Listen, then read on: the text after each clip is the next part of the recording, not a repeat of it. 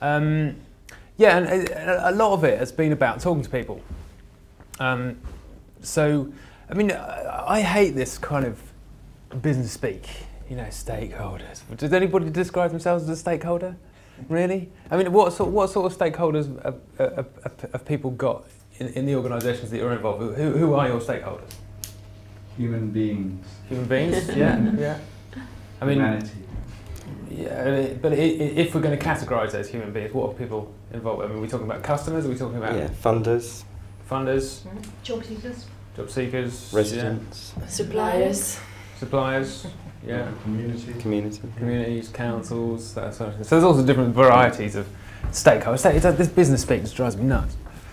But um, but I wrote it up there anyway because that was what the title was. So um, how, how do we do it? Well, I was, I was, sort of thinking earlier about how we did it with Brighton Energy Co-op. So the first thing to do is work out your finances.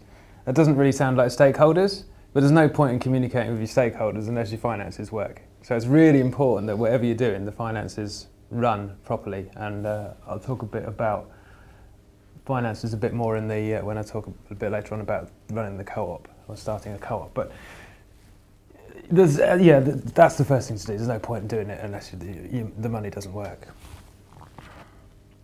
And then try and find out what these people want. There's quite a lot of market research out there in co-op land. Anyway, I, I don't know about other sectors, but I imagine in the public sector there's, there's bound to be loads of reports on stakeholder stuff because the public sector seems to specialise in spending lots of money on reports.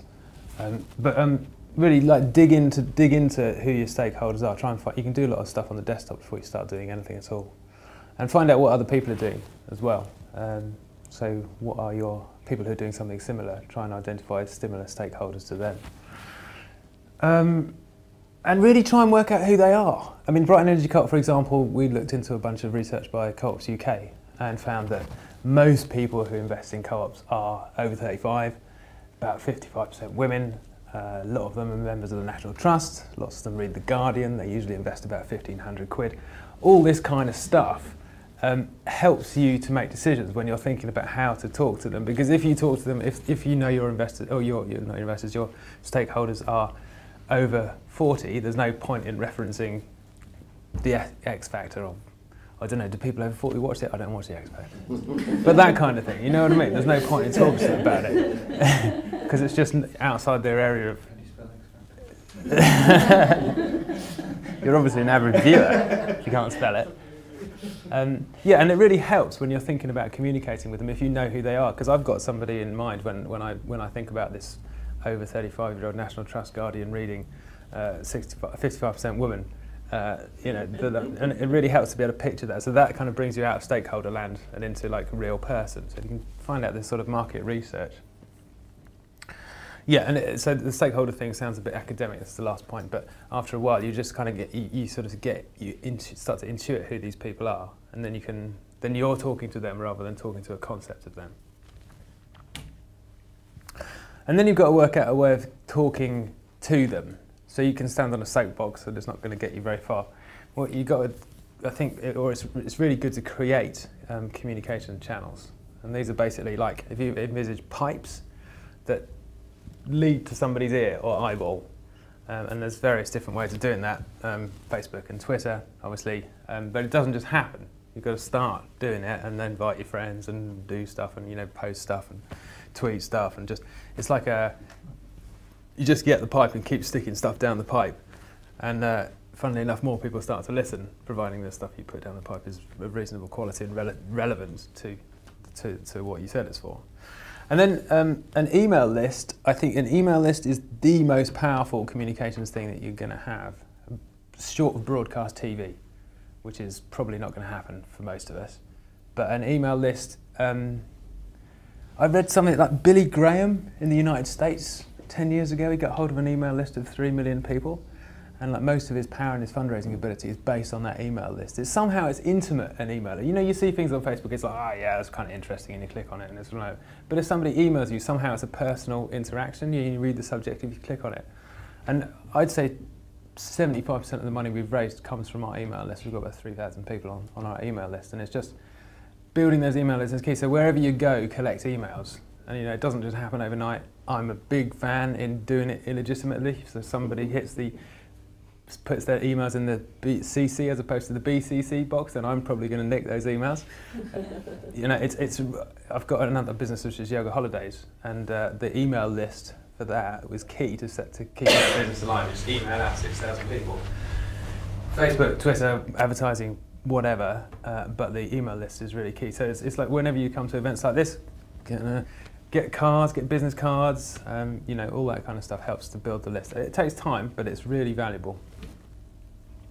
A PR list as well, so um, that's just for getting the message out to press. That can you can do that again via uh, desktop, so you can, you can find a list of Brighton publications, find a list of Brighton bloggers, uh, find a list of local TV, uh, Facebook groups, all that kind of stuff. You can just do online, just get a list of that, and then I'll talk about it in a bit. When when you've got stuff to say, send it out to this communications channel, and then the website, which is the fundamental bit, I think for an organisation like Brighton Energy Co-op or a web page at least. Um, and I think it's really valuable to be able to update that website yourself because it often things change. You'll be doing new stuff as you go along. You might want to talk about new stuff, and if you can't do it yourself, you're going to have to find somebody else to do it. That takes time, or you might have to pay them. And it's not that hard to operate WordPress now, and you can do quite a lot with it. So it's well, I think it's well worth at least spending some time familiarising yourself at least with the basics of WordPress. For, for people that don't know, WordPress is the the way you update lots and lots of websites. About 14 or 15 million websites or so or use this kind of thing called WordPress. Most, a lot of websites are built on it, and it's just it, it, the more you can do yourself, the quicker it'll be, and the the, the, the more cost effective, uh, cost effective, cheaper it'll be.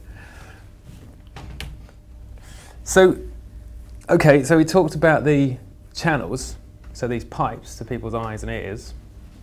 So what we're going to put down them, these pipes. Um, so it is, it's a bit like, it's not just a one-off thing, because people do listen. It Sometimes it sounds like they don't listen to the, you know, you send out 100 emails and nobody answers you, you think nobody's listening. But actually, 20% of people might have read that email. They won't get back to you, but they'll have read it. So it is worth thinking about what you're talking to them, and they, you know, you'll send out an email once a month, once every two months, or whatever, and uh, there'll be the 20% of people will be reading it, and you start to create a bit of a story because you know they'll have read the previous one, they'll read your future one, so you a bit of a narrative.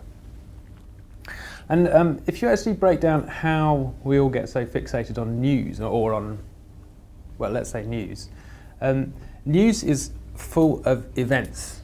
So things happen. Government says this, somebody falls off that, weather does this. It's all things that happen, and you can do the same with, uh, with communication and messaging.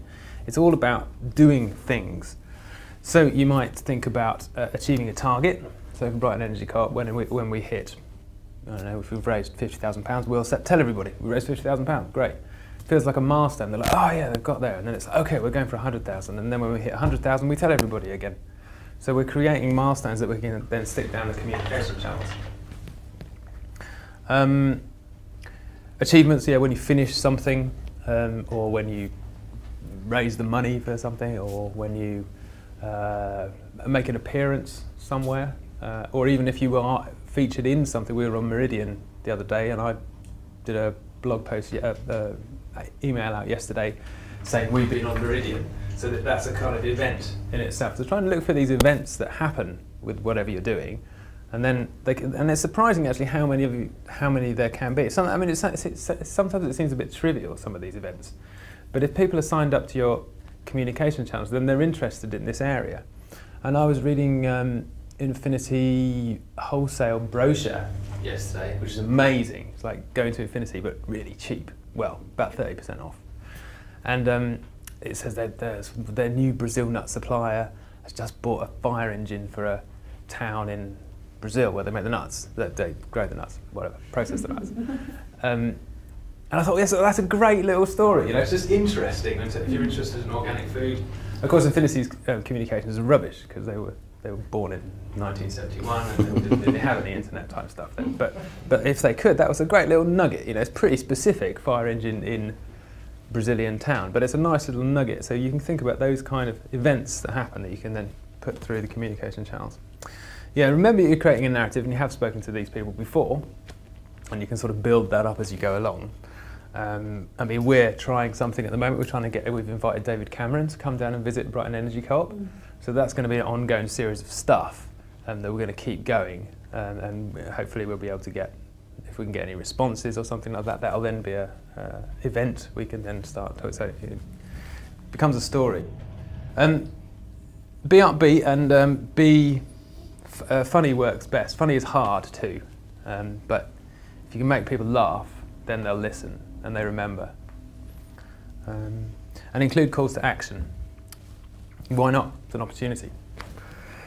And um, yeah, emphasize the benefits and make the benefits credible. That's that's kind of hard if you're starting up something new. But if you've done stuff before, then you know it's good to flog that. So people actually, if you're saying this is this is going to be good for you because of this, uh, I can say that to, till the cows come home. But who's going to believe me? But if I've been doing it for 10 years and I've got 10 years projects in my in behind me, then um, people are going to believe me more. Uh, some more stuff about content. Yeah, blog posts. You create a distinctive voice. Um, I'm trying to think of somebody who does that. There's a actually there's a there's a campaigning group called Frack Off, which I used to be part of, and I think they have a really distinctive voice in that it's, it's kind of critical but credible. Um, it's that kind of thing, uh, and I think it's. I said being upbeat earlier. I also think that being uh, taking issues head on as well. I think if you're constant, there's a lot of marketing that's uh, constantly upbeat, and uh, it's a bit. Again, I think that's really not treating people as if they're human beings somehow. Because if we're, if, we, if we're constantly putting out messages that are like, yeah, this is great, this is wonderful, it's fantastic, that's not how we live. Sometimes we get pissed off with things. We there's, some, there's some things about some things we don't like. And I think if we, if you can also sort of constructively critique what things that are perhaps opposed to what you're, or things that you're trying to get better, I think that's, that's a, a possibility. Um, it's a bit marketing people don't like like it when you say things like that because they're just like no you can't be negative. You just got you've got to have this American like yeah come on everybody. But I don't think that's realistic. We're not Uh, American. It's a bit like horoscopes, you know, you read the, when you read a horoscope, depending on which one you're reading, I mean, you can read out any horoscope to anyone saying it's theirs and they'll believe it, you know, it's, Mm. that's the way that they work. mm. And within them, there's a, there's a little narrative story that says some good stuff and some bad stuff. mm-hmm. And you sort of pick up on it because you kind of, you're hopeful that the Mm. bad stuff won't happen, but you're, mm. and, and that the good stuff will. So Mm. yeah you have a mix, like you said. Yeah, You're mix it up. acknowledging people do have concerns and worries. So you Yeah. address yeah I mean don't just say you know this guy's alright star No. star star star but um, don't ignore it. yeah and be con- perhaps be constructive about it or Yeah. at least be credible about it Yeah, yeah. Uh, yeah, tweet, Facebook, Facebook, anything you find, just stick it down Twitter and Facebook. You know, as long as it's relevant, um, just keep feeding it. Uh, advertising, I've got about a minute left. I mean, is anybody involved in a kind of commercial idea here? Is advertising would that be part of the promotional communications thing? A little bit. Yeah. Yeah, I mean, advertising is hard. I, I, it's often hard to tell exactly what you're spending your money on or what, what, what results your money is achieving with advertising, unless you've got a really big budget, which not many people have. Come to events and stand there and talk about stuff. I think that's, that's really one of our things that we've done a lot over the last two years. You know, I talk to residents groups, I talk to pensioners associations, I talk to green drinks people around the county, and it's really it's really, and I, I, I really thought, suddenly realised the value of it when I saw Caroline Lucas doing the same thing. She, two years ago, I was going around any event pretty much and speaking about Brighton Energy Co-op, and Caroline Lucas would be there. Sometimes it would be three people in a room, two of them would be asleep. But she does, you know, she just does it and does it and does it and does it. And when you've done 50 organ- or 100 organisations, you know, this is what grassroots support or grassroots uh, movements uh, come from. It's that, it's that legwork. It ain't glamorous. It's not like speaking to stadiums and stuff, but you keep on doing it and you do get there in the end. And you can go on a website, 5% return on investment plus 30% tax break. Get your checkbooks out now. keep, keep, keep, and keep go, yeah, wherever you go, keep pushing the message.